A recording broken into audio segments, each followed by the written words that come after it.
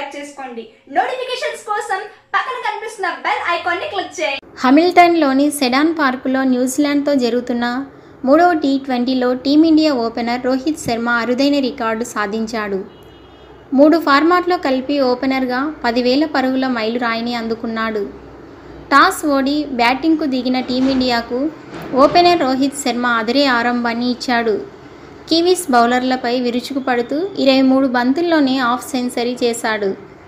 Kiwis pacer Hamish Bennett వేసిన ఆరో ఓవర్లో రోహిత్ విరవిహారం చేశాడు.